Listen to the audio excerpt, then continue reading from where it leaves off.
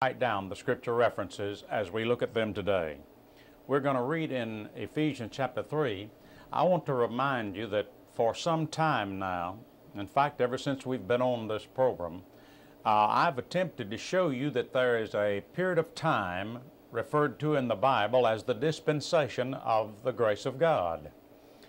Uh, during this dispensation of grace, God is not judging or condemning the world. God is not pouring out His wrath upon the world, but during this period of time of grace, God Almighty is saving souls, He's saving sinners uh, by His grace, which is made available to us through the death of Jesus Christ at Calvary. I have discussed that.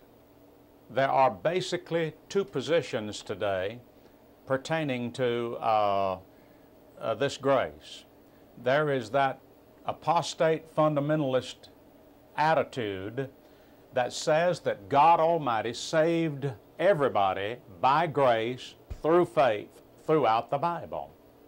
The attempt to take the grace of God that is referred to through Paul and apply that grace into all other dispensations with the idea in mind to make it so that men had eternal life by believing in all dispensations. The idea is to make it appear as if Abraham, uh, in Genesis chapter 15 and in Genesis chapter 22, uh, realized totally and completely that Jesus Christ was going to come and die for your sins.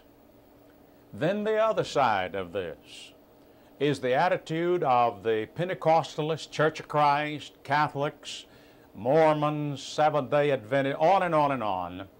These people say that there never has been, nor is there now, such a thing as the eternal security of the believer. They say that no one can be saved and know that they're saved. That you cannot know you're saved until you get to heaven or whatever it is. Most of them take the attitude that your salvation is dependent upon your good works versus your bad. The idea that God Almighty someday is going to weigh your good works versus the bad. If your good works outweigh the bad, God will invite you to enter into His kingdom, uh, into everlasting bliss, and all that kind of business. What is so fascinating is that the Pentecostals and the Assembly of God and people like that down through the years have sort of fine tuned their teaching along that line, you see, they don't teach now the exactly that same doctrine of uh, your good works versus your bad. They teach the rapture of the church, the tribulation, and the second coming of Christ, so they had to kind of fine tune it. So they say now that you can be saved and know that you're saved as long as you don't live in sin they say that you cannot be saved without repentance, that is, turning away from your sins, and that you must do this and then trust Christ, and that the grace of God is available to you if you live for God. The idea being that if you're good, if you're repentant, and you live for the Lord and whatever, then God is gracious unto you, and His death at Calvary will be applied to you, and that you can have salvation through His death. The Church of Christ believes, basically, that Jesus Christ died for the church. But to have salvation, you must be in the church. And to get in the church, you must be baptized in water uh, into the church for which Christ died. And this, this goes on and on and on. Now, what I'm going to talk to you about is not an attitude that I'm right and everybody else is wrong. That is not the idea at all. I'm probably the dumbest of them all. But being as dumb as I am, I believe the Bible. You see, I'm a fool for Christ. The Bible tells me in 1 Corinthians chapter 1 that not many wise men after the flesh, not many mighty, not many noble are called, but God hath chosen the foolish things of the world to confound the wise, and on and on. And I'm just fool enough to believe that the King James Bible is the Word of God, and that the King James Bible, the Word of God, means exactly what it says, as it says it, where it says it. I do not need a Greek scholar to interpret the passages for me. There are people today that are running to the Greek to find out the meaning of the English, and they can't read English, nor can they read Greek. And the answer to the whole thing for them is wisdom, scholarship. They believe the doctor, but they won't believe the Bible. They believe the philosophy, but they won't believe the Bible. How about you? What do you believe? Now, I want us to talk about this again today, and I want to, you to notice that Paul is given the dispensation of the grace of God. Now, you cannot understand the difference in Paul's teaching and Peter's teaching unless you understand the dispensational views in the Bible. So if you'll permit me, I want to put on the board again today the chart that we use regularly all the time, and I'll say that this right here represents the first coming of Christ. That's his baptism there. His crucifixion is right here. Therefore, between here is Matthew, Mark, Luke, and John. Jesus Christ in those books is the apostle to Israel. The Bible says in Hebrews chapter 3 that he's the apostle of God. All right, his apostleship is to Israel. The Bible tells me that Jesus Christ came unto Israel and they received him not. Jesus Christ ministered then is to Israel. He sent the apostles out in Matthew 10 and said, Go not in the way of the Gentiles, go only to the lost sheep of the house of Israel. And he said in Matthew chapter 15, I'm not sent but unto the lost sheep of the house of Israel. Now, you'd think that anybody that believed the Bible at all would believe that, but not so. You see, people always run to the Greek to find out if that's true or not. And they get themselves in a mess because God Almighty doesn't bless them any longer. God blesses the people that just believe the Bible without question. You see, we walk by faith, not by sight. And the Bible tells me clearly in Hebrews chapter 11 that faith is the substance of things which are hoped for, the things which are not seen, and on and on. They that come to God must believe that He is, and that He's a rewarder of them that diligently seek Him. You see, faith has to do with believing something without questioning it. Now, on the other side, I'm going to put over here, I'm going to say that this right here is the second coming of the Lord Jesus Christ. Jesus Christ is going to come again. He promised the apostles that he's going to come again. And he said, When the Son of Man shall come in his glory, and all the holy angels with him, then he'll sit upon the throne of his glory. Uh, back here, uh, the angel of the Lord told Mary, Fear not, you're going to bear a son, Call his name Jesus. He shall be great, called the Son of the Highest, and the Lord God shall give unto him the throne of his father David. Obviously, he didn't get the throne of his father David at his first coming. He's going to come again, and he's going to reign, and that's clear in Revelation chapter 19 and 20. Revelation chapter 1, verse 7 says, He cometh with clouds, and every eye shall see him, and they also which pierced him, and on and on. Well, anybody then that believes the Bible believes that Jesus Christ coming again. Anybody that doesn't believe that Jesus Christ coming again doesn't believe their Bible. Anybody that believes the Bible believes Jesus is coming again. Anybody that doesn't believe Jesus is coming again doesn't believe their Bible. It's that simple. Now, before he comes again, there is a period of time in the Bible referred to as the time of Jacob's trouble that I want to talk to you about in a moment. If I come on the other side back here, I'm going to let this represent the salvation of the Apostle Paul. This would be Acts chapter 9. In Acts chapter 9, the Lord appeared to the Apostle Paul, and he appeared to him brighter than the noonday sun, and the message of grace came down to the Apostle Paul at that point.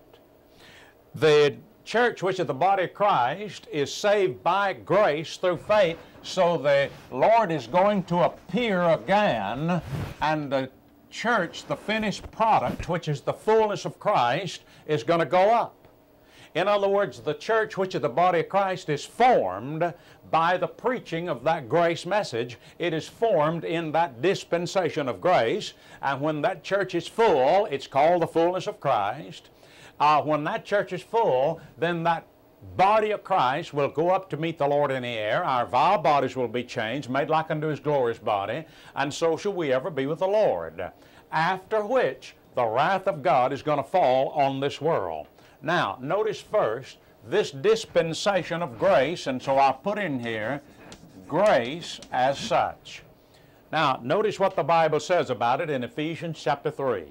In Ephesians 3, verse 1, for this cause, I, Paul, the prisoner of Jesus Christ, for you Gentiles, if you have heard of the dispensation of the grace of God, which is given me to youward. Well, then Paul was given the dispensation of the grace of God. Turn, please, to uh, Colossians chapter 1. In Colossians chapter 1, Notice in verse 23, we're going to read at the very latter part of the verse. Verse 23, I, Paul, he said, am made a minister.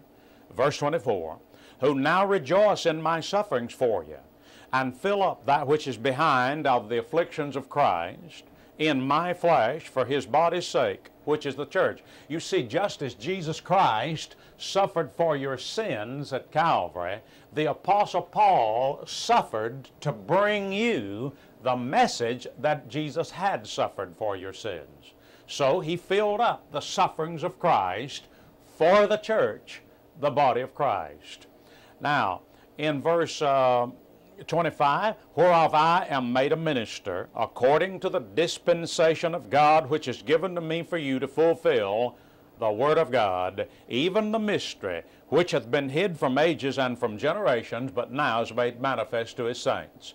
Well, then there is a dispensation of God that's called the dispensation of the grace of God that is in this Bible. Now, I realize that somebody is going to go rushing to the bookshelf, grab the Greek down, listen to what the Greek scholar had to say about it, and they're going to find out that that Greek scholar said that the word dispensation is the same word as just dispensing something out. well, that is true, but it takes time to dispense something out. And the grace of God began to be dispensed in Acts chapter 9 and will cease to be dispensed at the rapture of the church. Therefore, between the two appearings, when Jesus appeared to Paul in Acts 9 and when he appears as in 2 Timothy chapter 4 and the church goes up to the judgment seat of Christ, between those two appearings there is the dispensation or the dispensing out of the grace of God in a period of time. And I couldn't care less about the arguments with some scholarly individual who doesn't believe the Bible in the first place, but all he's trying to do is reject the truth and get you to reject the truth. I don't care anything about that. I realize that we in America today live in the Republican dispensation.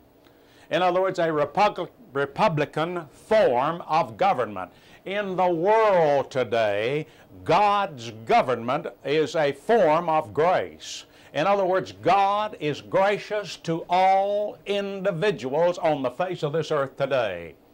God is not judging men today. God is dispensing His grace out to men today. The Bible says in 2 Corinthians 5:19 that God was in Christ reconciling the world unto Himself, not imputing their trespasses unto them. And may I say to you again that God can save you right now based upon the fact that He's gracious to you and He's gracious unto you because Christ died for your sins at Calvary.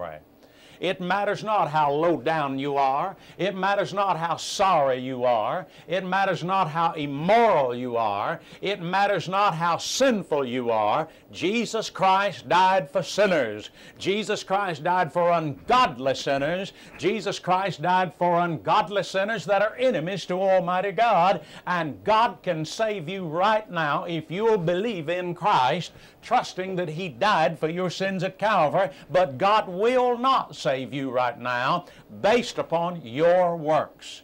You can repent of your sins until hell freezes over, but if you do not believe in and completely and totally trust that Christ paid for your sins at Calvary and depend upon His work at Calvary to save your soul, you'll end up in hell as sure as you're listening to my voice. And all that business about trusting Christ and then falling from grace because you used tobacco or alcohol or dance or played cards is just blowing smoke. There isn't anything to that. God Almighty paid for your sins at Calvary. God will save your soul if you will trust Christ as your Savior. We live in the dispensation of the grace of God. Notice Paul's term in 1 Corinthians chapter 9. In 1 Corinthians chapter 9, notice in verse 16. 1 Corinthians 9 16, Paul said, For though I preach the gospel, I have nothing to glory of. For necessity is laid upon me, yea, woe is unto me if I preach not the gospel. For if I do this thing, that is, preach the gospel, willing, I have a reward. But if against my will, a dispensation of the gospel is committed unto me. The point being that Paul is committed a dispensation. The, dispensa- the dispensation of the gospel is committed to the Apostle Paul. And so Paul dispenses out the grace of God. He issues forth the grace of God. Where do you find this grace of God in a King James Bible? Well, you find it in Romans through Philemon. Now that is clear to a Bible believer. Now, let's compare some things. Once the rapture takes place, and it is clear that it will, 1 Thessalonians chapter 4 said, The Lord himself shall descend from heaven with a shout, with the voice of the archangel, with the trump of God, and the dead in Christ shall rise first. Then we that are alive and remain shall be caught up together with them in clouds to meet the Lord in the air, so shall we ever be with the Lord.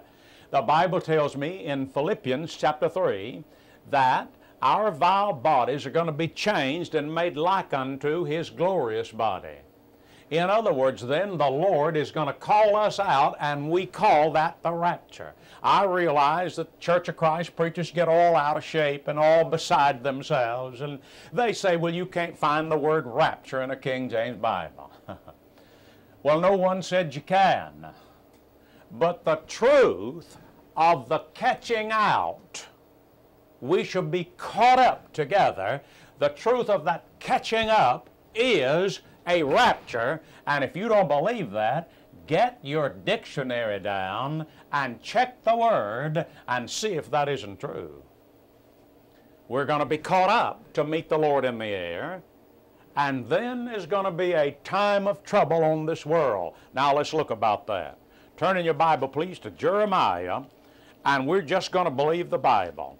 Look in Jeremiah chapter 30 in Jeremiah chapter 30.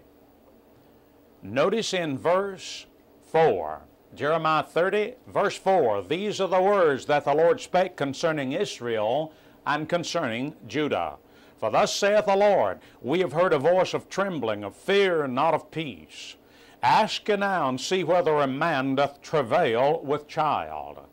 Wherefore do I see every man with his hands on his loins, as a woman in travail, and all faces are turned into paleness? Alas, for that day is great, so that none is like it. It is even the time of Jacob's trouble, but he, Jacob, shall be saved out of it. Well, then there is a time of Jacob's trouble. We know that time of Jacob's trouble is not before the cross back here. There is no such time referred to in the Bible. There, it is not in Acts chapter 2 through 4, 5, 6, 7, 8, 9, and on and on. It is not in Romans through Philemon. There is a time of Jacob's trouble, and God is going to be dealing with Jacob, the nation Israel, during that time of trouble. Turn please to Isaiah and look in Isaiah chapter 13. Isaiah chapter 13. During this time of Jacob's trouble, the world is going to get it. In Isaiah chapter 13, notice in verse 6 Howl ye, for the day of the Lord is at hand. It shall come as a destruction from the Almighty. Therefore shall all hands be faint, and every man's heart shall melt. And they shall be afraid. Pangs and sorrow shall take hold of them. They shall be in pain as a woman that travaileth.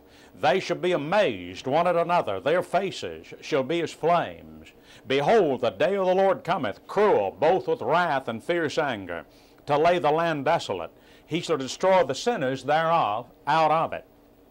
For the stars of heaven and the constellations thereof shall not give their light. The sun shall be darkened in his going forth, and the moon shall not cause her light to shine. And I'll punish the world for their evil, and the wicked for their iniquity. I'll cause the arrogance of the proud to cease, and will low, lay low the haughtiness of the terrible. I'll make a man more precious than fine gold, even a man than the uh, golden wedge of Ophir. Therefore I will shake the heavens, and the earth shall remove out of her place in the wrath of the Lord of hosts, and in the day of his fierce anger. Make no mistake about it. There is a day coming, God's going to judge this world. He's going to judge this world in righteousness. He's going to bring forth His wrath, and He's going to melt the dross out of this world as a man puts silver in fire. Notice that that's what He says about Israel. Turn in your Bible, please, and look in Zechariah chapter 13. In Zechariah, notice in Zechariah 13, verse uh, 7. Zechariah 13, verse 7 Awake, O sword, against thy shepherd, and against the man that is thy fellow, saith the Lord of hosts. Smite the shepherd, and the sheep should be scattered, which he did at Calvary, you see.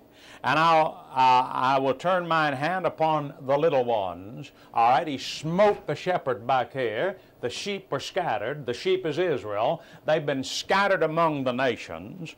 Uh, verse 8 It shall come to pass that all the land, saith the Lord, two parts therein shall be cut off and die, but the third shall be left therein. In other words, uh, Israel was carried captive among the nations. A remnant of Israel was left in the land. Verse 9 I'll bring the third part through the fire and will refine them as silver is refined, and will try them as gold is tried. They shall call on my name, and I will hear them. I will say, It is my people, and they shall say, The Lord is my God.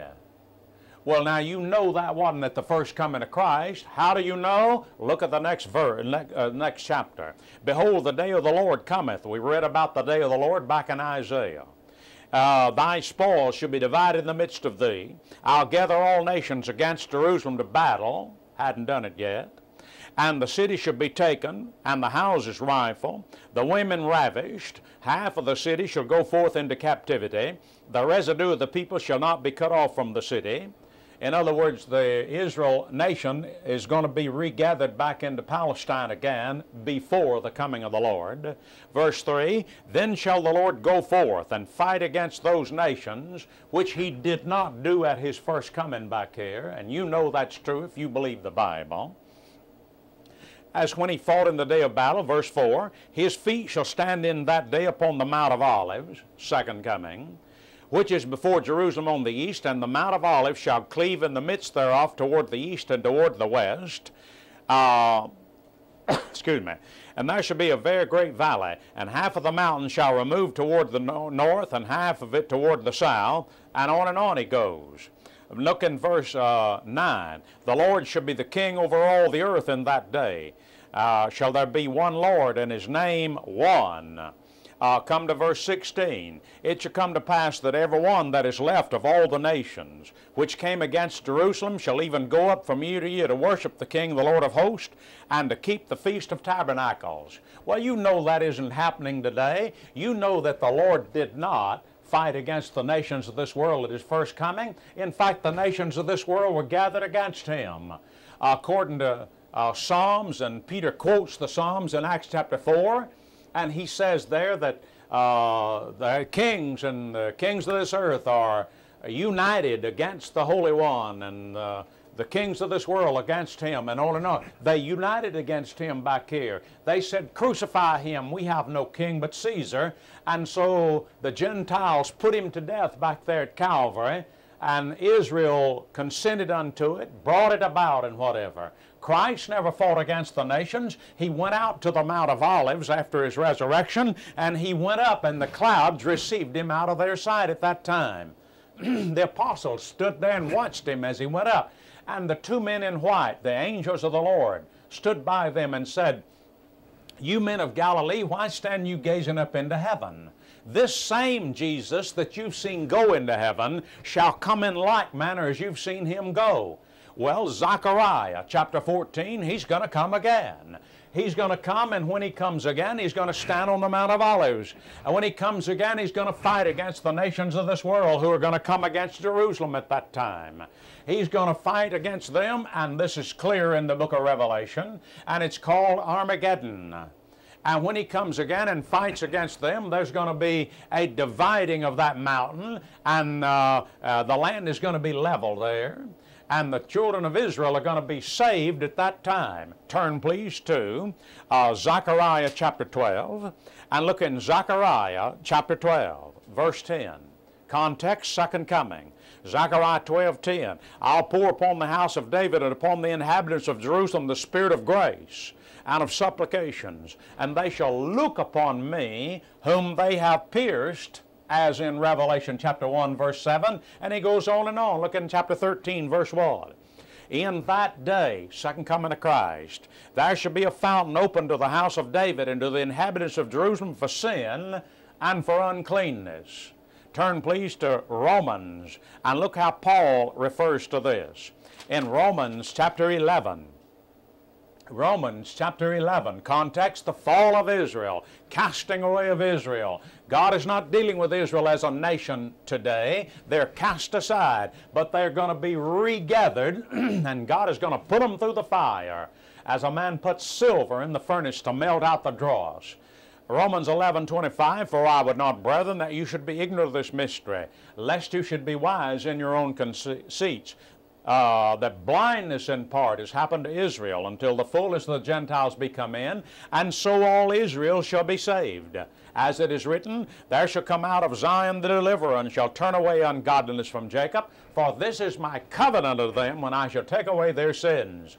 God is going to put Israel through the fire of judgment over here, and He's going to melt the dross out of them, and then the Lord is going to come to them that turn from uh, iniquity, and He's going to save them and set up His kingdom, and they're going into His kingdom. But how about this time in here? During this time, there is no distinction between Israel and the Gentile. There is no distinction in nations in the eyes of God anymore. God will save anybody that'll come unto Him by Jesus Christ.